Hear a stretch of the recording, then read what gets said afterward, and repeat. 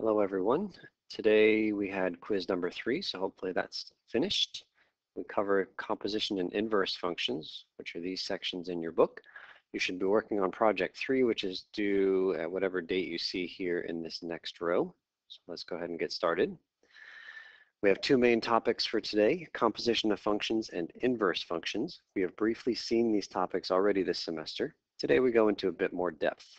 Number two, Suppose R gives a farmer's revenue as a function of corn yield per acre, and Y gives the corn yield per acre as a function of the quantity Q of fertilizer.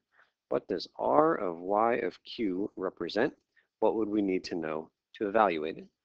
Okay, so the one thing we uh, should know about in um, composition of functions is that we're supposed to work from the inside to the outside. So looking at the innermost thing here, we start with an input of Q, which is uh, the quantity of fertilizer.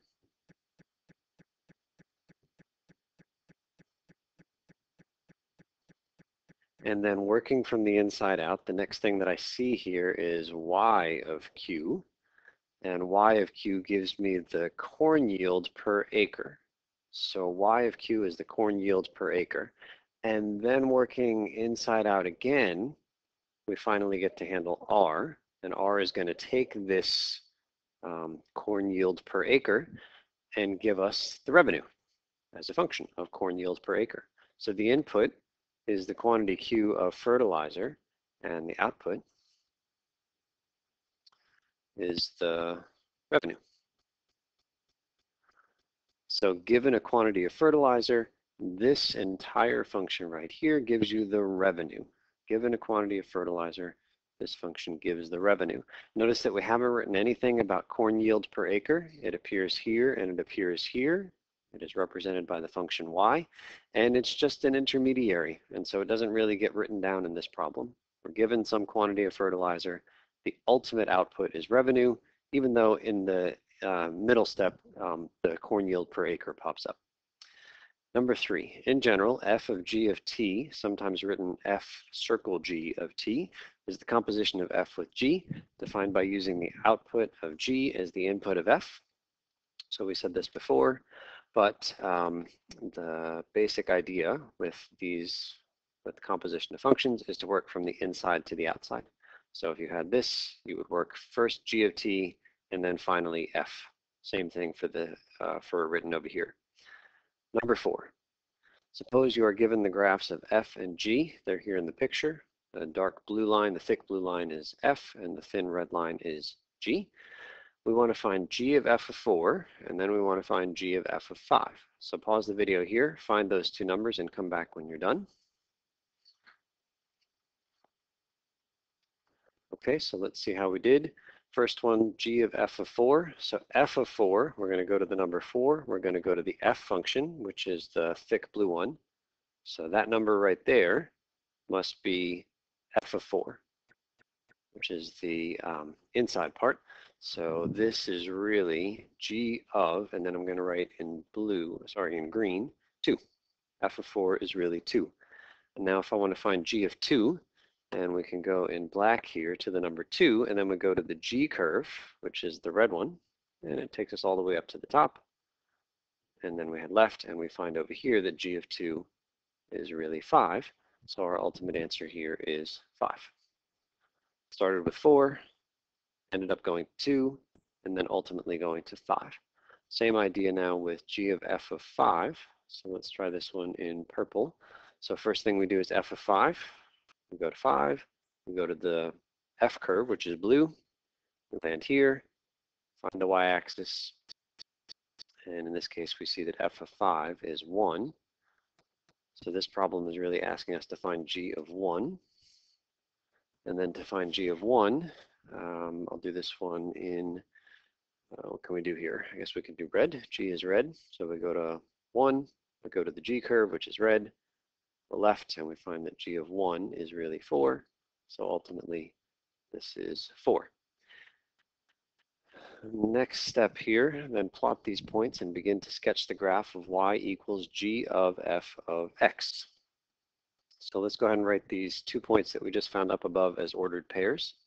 So in this first point, uh, it was g of f of 4. What was the value of x? It was 4. And then what was the output of the function, which we're going to call the y value? The final output was 5. Even though 2, that green number, was an intermediate, it wasn't the final answer, so it doesn't get recorded. So that's the point 4 comma 5. Go ahead and write down the point for the uh, second piece. Write down this as an ordered pair. Hopefully we get 5, 4. And so we can plot these two points. Let's see, 4 comma 5 is way up here. 5 comma 4 is here. And then you could plot a bunch more points if you wanted to. Now, does it go on a straight line from here to here? I don't know. I kind of need a little more information. Um, plotting composition of functions is generally a hard thing to do, and plotting points is just about the only technique I can give you. Um, so uh, you could plot a lot of points and eventually have a good looking graph of uh, y equals g of f of x. Number five, often we will want to decompose a function as a composition of two or more functions. This will be very useful in calculus. When doing this, think about the order of operations and use the thing we do first as the inside function. For each function below, find two functions, f and g, such that h of x is equal to f of g of x. Okay, so let's look at part A. h of x is e to the 2x plus 1, but I really want to write h of x as a composition of two other functions, hopefully two simpler functions. So let's see, we're going to write f of x, and we're going to write g of x, and the idea is to work from the inside to the outside. And the hint is that whatever you do first is going to be the inside function. And the inside function in this setup is g. So what would we do first if we were trying to evaluate this e to the 2x plus 1? For example, if I said, how much is h of 4? What would we do? We'd put 4 right up there for the x, and we'd calculate this number. If you plug 4 in for x, that turns out to be 9. So you would do the 2x plus 1 first. So it seems like that's, the hint is telling us to put that as the inside function. And then what would you do? Well, you would take e and raise it to whatever number you just got. Whatever number you just got, well, it's just x in general.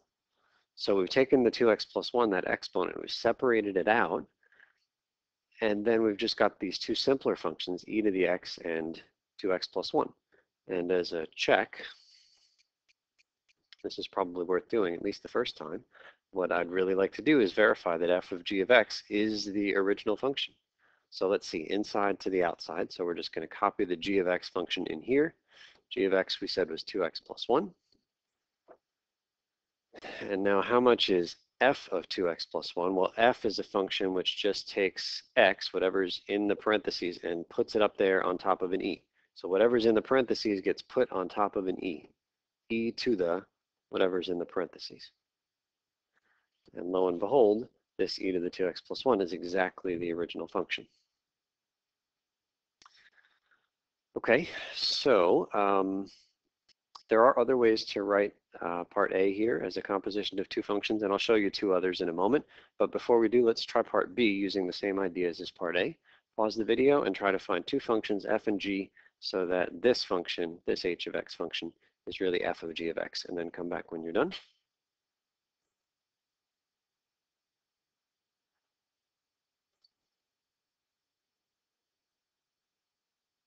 Okay, so hopefully we put the inner function as the g.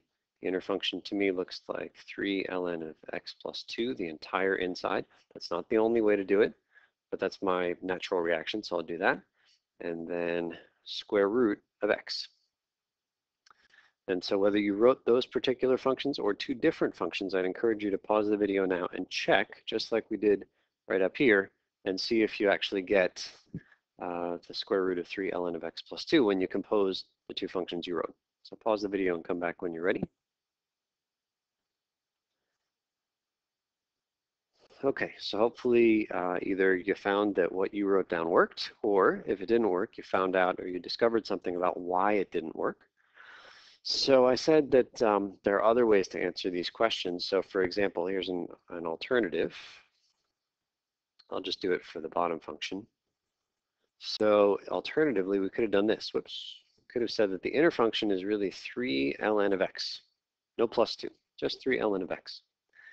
And if you're going to do a little bit less work on the g function, then you got to make up for it. You got to pay for it by making the f function work harder. So in this case, the f function turns out to be square root of x plus 2. And so you can verify that. Go ahead and do that check to see that when you compose those two functions in red, you still get the original function. Pause the video and come back once you've done that.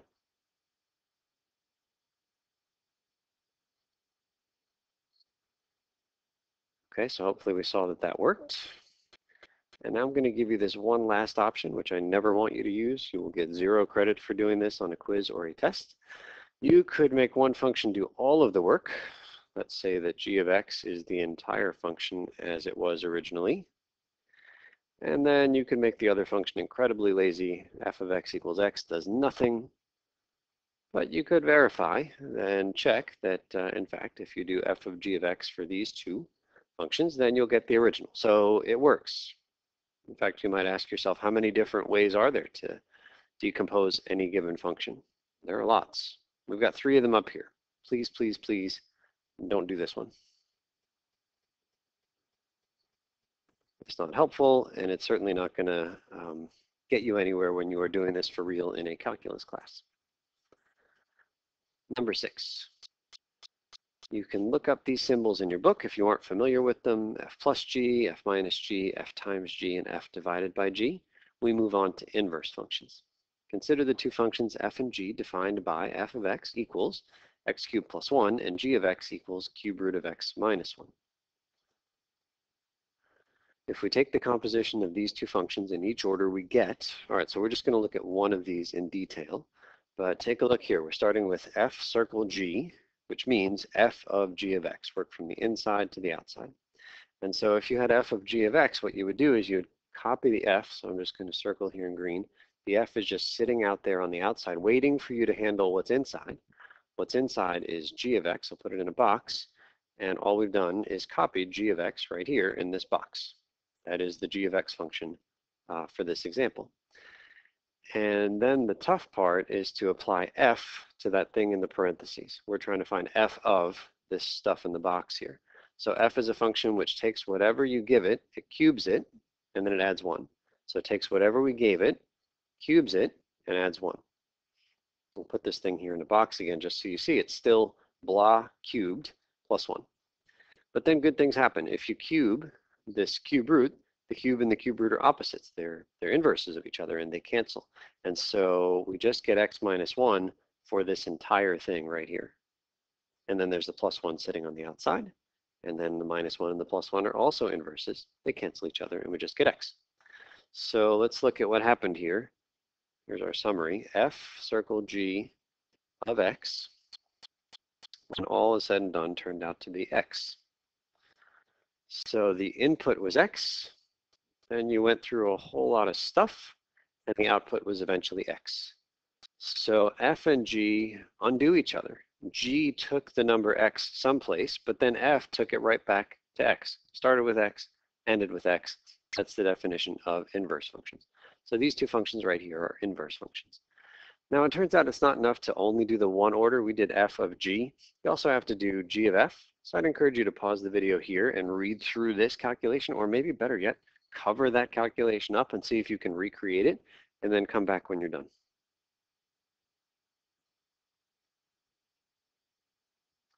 So hopefully we saw that uh, g of f of x went to some place, but eventually came right back to the x that it started with.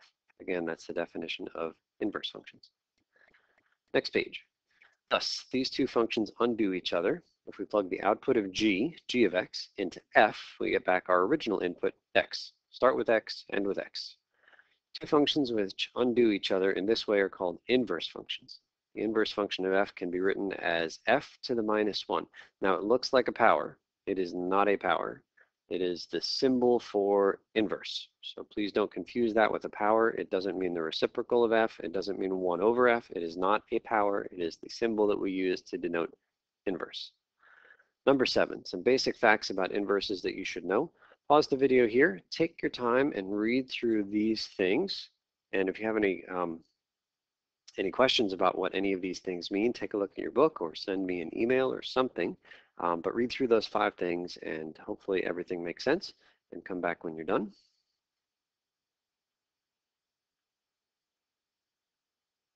Okay, lots of stuff to digest in there, but hopefully you've seen most, if not all of it before. Moving on to number eight, let's make sure we're comfortable finding the inverse of a function algebraically. Here's the process. So the steps for finding the inverse of a function are written out here. Uh, over here is the example that we're going to do. We're going to find the inverse of this function, and we're going to do all the work here, going side by side with the steps. Okay, step one, check that the function is one to one. So hopefully you know what this means, but essentially it means that um, no y value comes from two different x values. I'll say it again, no y value comes from two different x values. Oftentimes it's kind of hard to check whether or not that's true. Uh, here's an example of a function that is not one to one.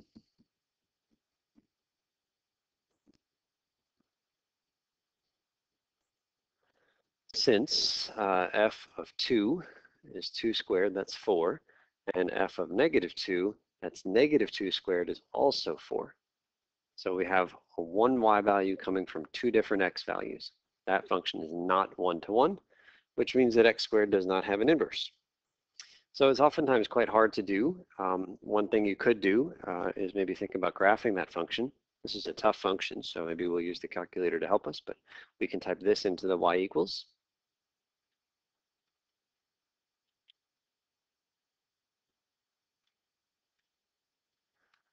Okay, what happened here? 2x minus 1. Okay, so I'm not really sure where this function lives, so maybe zoom 6 will get us started. Okay, is that function one-to-one? -one? How do I know by looking at the picture? Well, we said that we wanted to make sure that we never had the same y value coming from two different x's.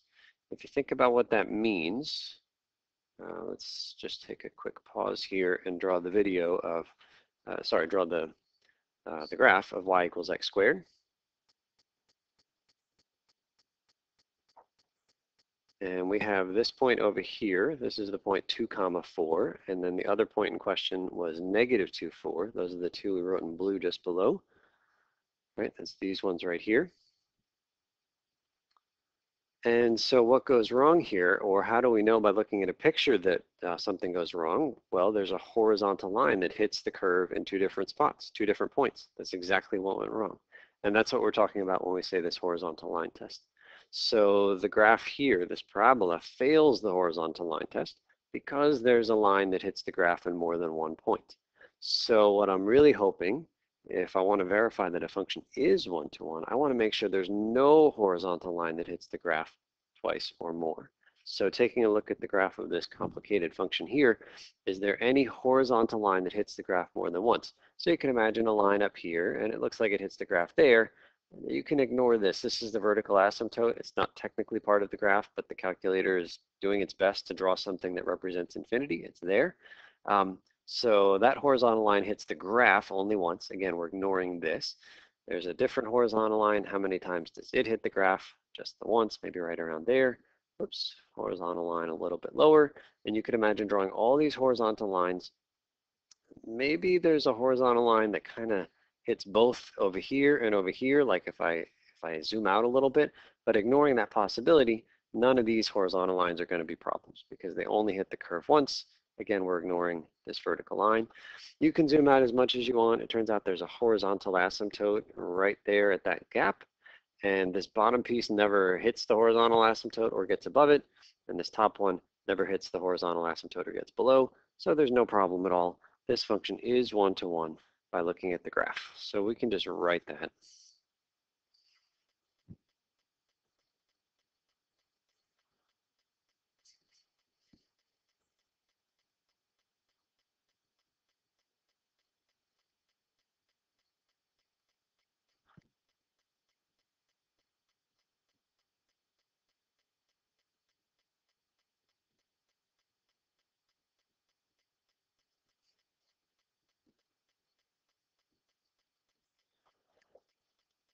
And I guess technically we can't really say that definitively it's one-to-one -one because the graph might be misleading. Maybe if we zoomed out more, we'd see it's not one-to-one. -one.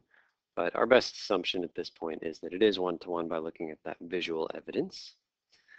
So now we dive into the process of finding the inverse. So now we're here at step two. It says replace f of x by y. So we're just going to copy that guy, but change the f of x to a y.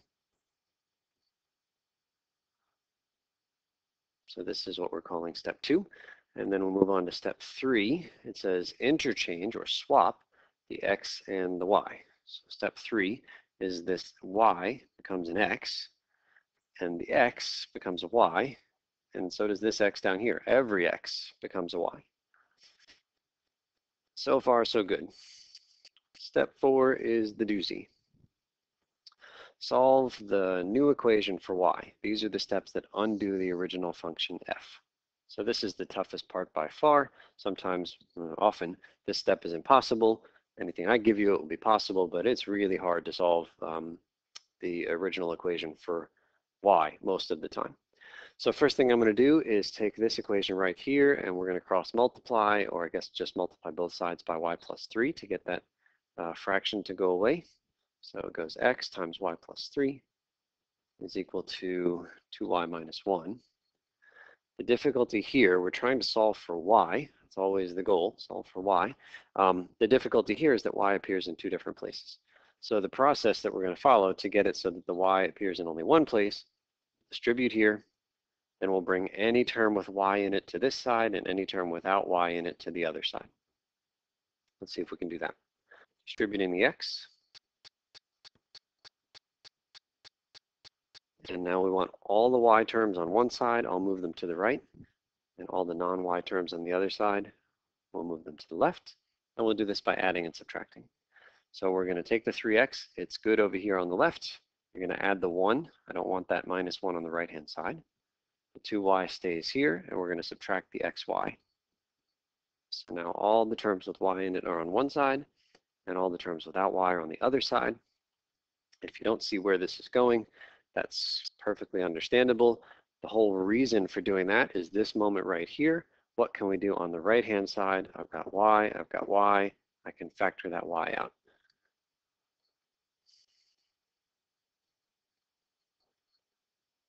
And that right there is the whole reason we were getting the y terms to one side and the non-y terms to the other, is so that you can factor the y out.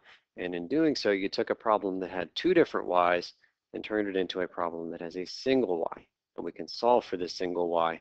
All we need to do is divide by 2 minus x.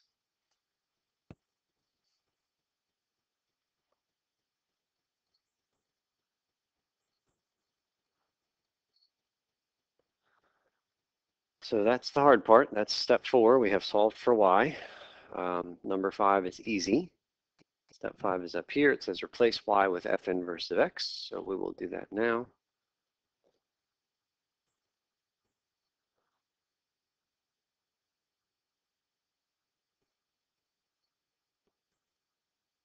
And that's it. 3x plus 1 over 2 minus x is the inverse function technically we should do this check here in step six. It says check to see that f of f inverse of x is really x. And then the other direction as well. We're not going to do that here, at least I'm not going to do that here, but it might not be a bad idea for you to do it here. Um, uh, maybe before you move on to the activity which is on the next page.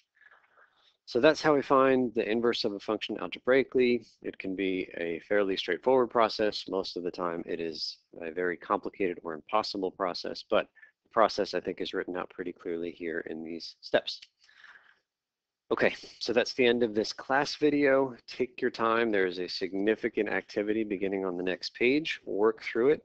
There are a whole bunch of problems, and only after you've given it a good try, Uh, maybe go ahead and check out the video of me working through the activity on YouTube.